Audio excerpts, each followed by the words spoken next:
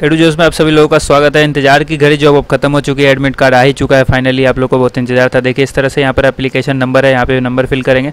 दूसरा यहाँ पे डेट ऑफ़ बर्थ है, वो आप इस तरह से चेंज कर सकते हैं और सेलेक्ट कर लेंगे अपना मंथ एंड उसके बाद यहाँ पे डेट सेलेक्ट करेंगे, ठीक है?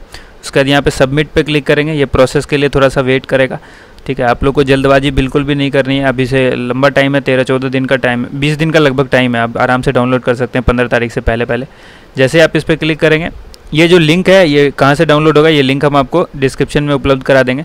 आप उस लिंक पर क्लिक करेंगे तो आपको ये बॉक्स सामने आएगा। इस तरह से डाउनलोड हो जाएगा। जब आप इस पर क्लिक करेंगे डाउनलोड पे तो आपको एक एडमिट कार्ड जो है, वो पीडीएफ फ़ाइल है, वो स्क्रीन पर शो हो जाएगी और वो इस तरह से होगी। इसमें आपका फ़ोटो वगैरह सब कुछ डिटेल होगी एग्जामिनेशन सेंटर टाइम वगैरह। तो आप डाउनलोड करके देख लीजिएगा।